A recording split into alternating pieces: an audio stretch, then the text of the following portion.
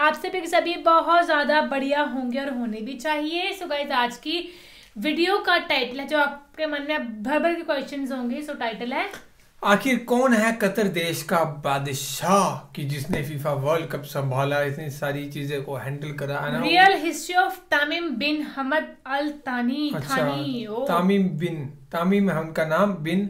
उनके उनके फादर साहब का नाम मोहम्मद अल थानी सो भाई साहब ये हैं तामीम जी तामीम जी। तो इन्होंने मतलब देखते हैं कतर देश की फीफा वर्ल्ड कप की कमान संभाली। पूरा कतर देश संभाला है भाई साहब। इन्होंने इतना बड़ा वर्ल्ड कप हो रहा है वहाँ पे और बहुत से विवाद चल रहे हैं बाकी कंट्रीज़ के उसके रिलेटेड बहुत से प्रश्न उठाए जा रहे हैं। तो इसको करते हैं प्ले देखते हैं इनके बारे दोस्तों में। आज की इस वीडियो में हम बात करेंगे हमारी दुनिया के सबसे अमीर देश यानी कतर की रॉयल फैमिली के बारे में। कि आखिर कतर का जो शाही खानदान है, उसका इतिहास क्या है और उसने कतर पर हुकूमत करना कब से शुरू की थी? और इन लोगों ने कतर को इतना ज़्यादा ताकतवर और दुनिया का सबसे अमीर देश कैसे बनाया? शाही खानदान के साथ साथ आज की हमारी इस वीडियो में कतर के जो मौजूदा किंग हैं, यानी हुक्मरान, उनके बारे में भी बात की जाएगी कि आखिर कतर का मौजूदा किंग कौन है, उनका इतिहास भी क्या रहा है, और वो पिछले सिर्फ़ चंद सालों के अंदर ही दुनिया के सबसे ताकतवर नेताओं में से एक नेता कैसे बन गए?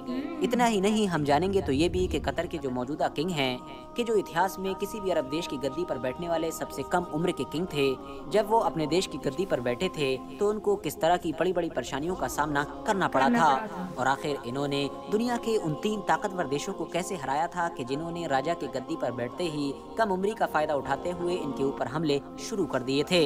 तो चलिए आज की अपनी इस वीडियो को हम शुरू करते हैं और इन सारी ही चीज़ों पर रोशनी डालते हैं। दोस्तों सबसे पहले बात करते हैं शाही खानदान के बारे में। तो मैं आप लोगों को बता दूँ कि कतर पर जिस खानदान की हुकूमत है उसको अल्थानी खानदान के नाम से जाना जाता है। ये इस वक्त दुनिया के सबसे अमीर खानदानों में से एक खानदान है। बात करें अगर बैकग्राउंड की तो ये खानदान पिछले लगभग पौने 200 साल से लगातार कतर के ऊपर हुकूमत करता रहा है। इस खानदान के पहले हुक्मरान का नाम ऐतिहासिक किताबों में शेख मोहम्मद बिन थानी बताया जाता है जिन्होंने अठारह से लेकर 1878 तक कतर के ऊपर राज किया था। और तब से लेकर आज तक लगातार एक के बाद एक थानी फैमिली के आठ लोग कतर के राजा बन चुके हैं। और आज के दौर में कतर की गद्दी पर जो इंसान बैठा हुआ है, उनका नाम शेख तमीम बिन हम अल थानी है। और ये थानी फैमिली के आठवें हुक्मरान हैं, जो 2013 से लेकर अब तक कतर के राजा बने हुए हैं। हालाँकि दोस्तों, याद रहे कि इन पौने 200 सालों के अंदर दुनिया के दूसरे बहुत सारे इलाकों की तरह कतर के इलाके पर भी अंग्रेज़ों ने राज किया था। और बाद में दूसरे देशों की तरह ही वक्त के साथ इसको आज़ाद भी कर दिया था। मगर अंग्रेज़ों के राज में भी अल्थानी फैमिली का दबदबा कायम रहा था। वो इसलिए क्योंकि अंग्रेज़ों का राज ही अल्थानी फैमिली की रजामंदी के साथ शुरू हुआ था। हुआ ये था कि जब हमारी दुनिया में फ़र्स्ट वर्ल्ड वॉर शुरू हुई थी तो दुनिया के दूसरे छोटे छोटे देशों की तरह कतर को भी अपनी हिफाजत की फ़िक्र होने लगी थी। उसको पता था कि अगर उसने दुनिया की किसी बड़ी शक्ति के साथ हाथ नहीं मिलाया तो कोई न कोई बड़ी ताकत उसके ऊपर आकर कब्जा कर लेगी। और उसके पास तो एक ताकतवर और बड़ी आर्मी भी नहीं है कि जिसकी मदद से वो अपने इलाके की हिफाजत कर सके। इसीलिए फ़र्स्ट वर्ल्ड वॉर के दौरान ही अल्थानी फैमिली ने अंग्रेज़ों के साथ एक सौदा कर लिया था। जिसके मुताबिक अंग्रेज़ों को कतर के दुश्मनों से कतर की हिफाजत करनी थी और बदले में कतर ने भी अंग्रेज़ों को अपनी ज़मीन से निकलने वाले तेल और गैस का हिस्सेदार बना दिया था। इस हिसाब से इन दोनों का ये गठजोड़ चलने लगा था। हालाँकि दोस्तों, अल्थानी खानदान के इतिहास में जितने भी हुक्मरान हुए हैं, उनमें अगर सबसे ज़्यादा कामयाब किसी को माना जाता है और सबसे ज़्यादा शोहरत अगर किसी को मिली है तो वो है खानदान के सातवें किंग, के जिनको हमद बिन खलीफा अल्थानी के नाम से जाना जाता है। याद रहे कि ये वही हमद बिन खलीफा अल्थानी हैं कि जो न सिर्फ़ कतर के मौजूदा किंग के फादर यानी वालिद हैं, बल्कि साथ ही साथ उन्नीस से लेकर 2013 तक कतर के बादशाह भी हुआ करते थे।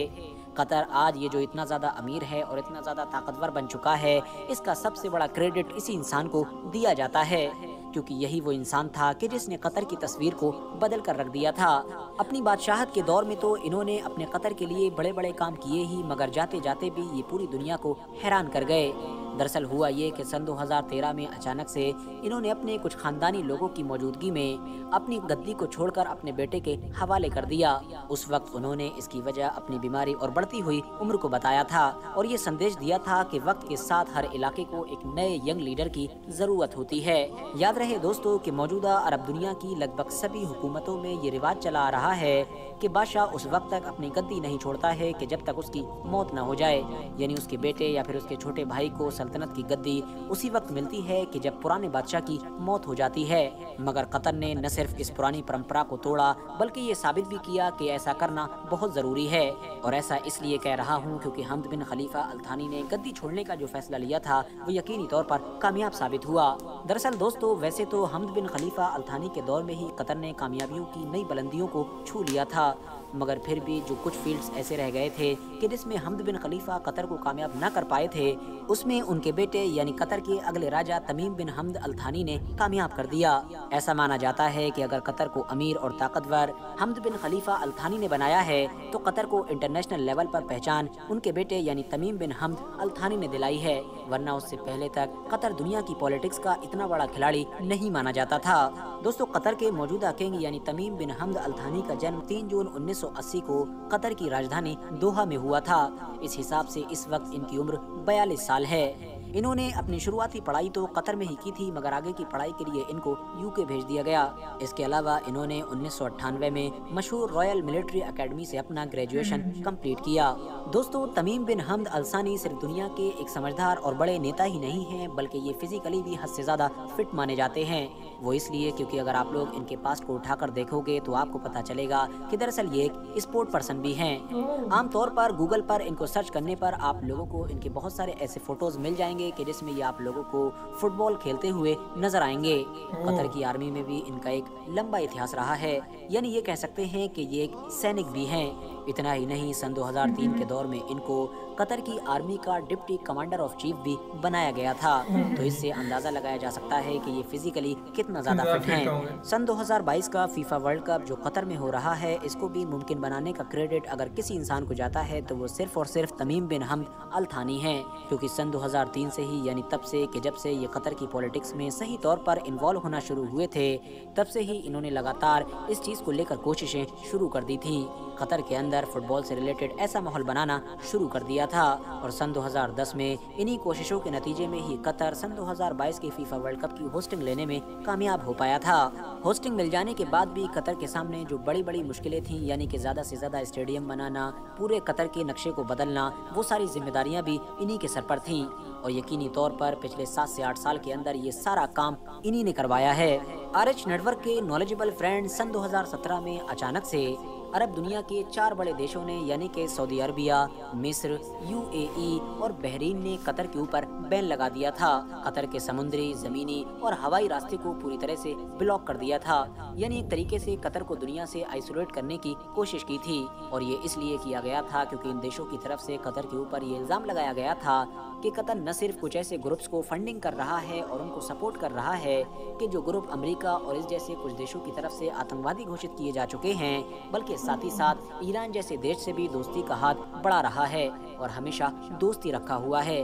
जबकि ईरान न सिर्फ़ अमेरिका का, बल्कि सऊदी अरबिया और जैसी कुछ अरब कंट्रीज़ का भी दुश्मन माना जाता है। फ़िलहाल बैन लगाते वक्त इन सभी कंट्रीज़ को ये उम्मीद थी कि कतर हमारे इस बैन को चंद दिन भी नहीं झेल पाएगा और परेशान होकर एक दो हफ़्ते के बाद ही सरेंडर कर देगा और हमारी सारी शर्तों पर मान जाएगा।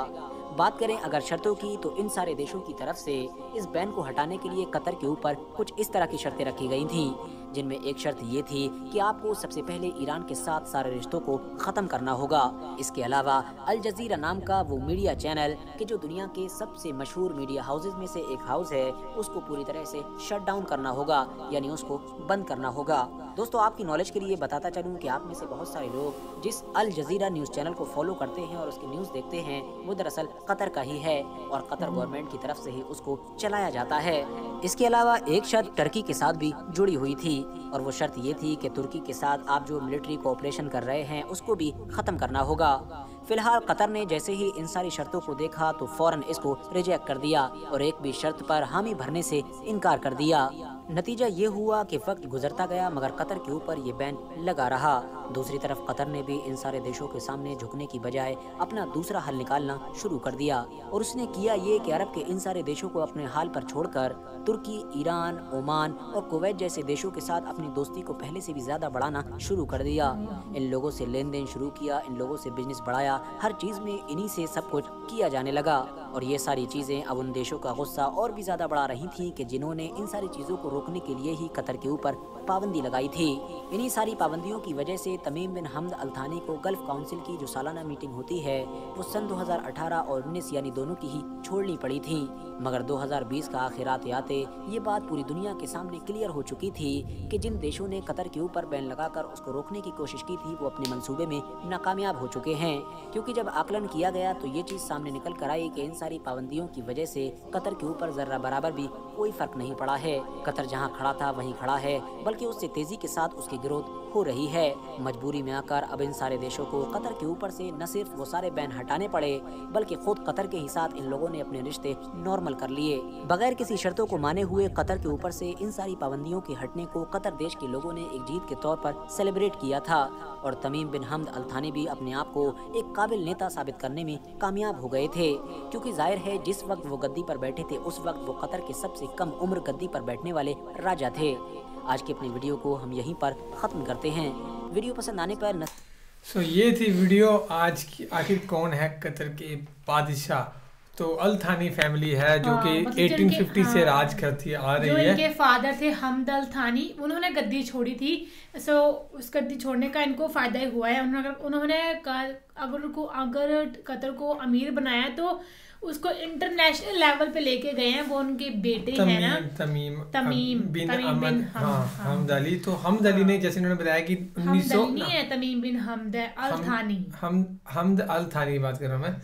हमद अल थानी मतलब नाइनटीन 95 से लेकर 2013 तक वहाँ के वो प्रिंस रहे या हाँ। बादशाह कह सकते हैं रूलर कह सकते हैं आप है ना? स्पोर्ट्स पर्सन भी हैं यार हाँ तो रूलर रहे वो हम अल्थानी तो उन्होंने मतलब जो तरक्की करवाई है जो काम हुआ है वहाँ पे तो उन्होंने कहा करवाया लेकिन जो इंटरनेशनल पे इंटरनेशनल लेवल पे आज रिप्रेजेंट हो रहा है कतर तो वो सिर्फ़ तमीम बिन हमद अली थानी की वजह से ही हो रहा है yes. क्योंकि उनके बेटे है आपको पता है कि नई जनरेशन है।